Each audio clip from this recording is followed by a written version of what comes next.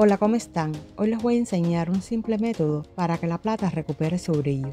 Para ello vamos a necesitar pasta dental de preferencia blanca y con bicarbonato para mejores resultados. Esta, por ejemplo, se puede encontrar en cualquier supermercado por menos de 2 euros. También necesitaremos un trapo para frotar. En mi caso usaré guantes para mayor comodidad. Empecemos.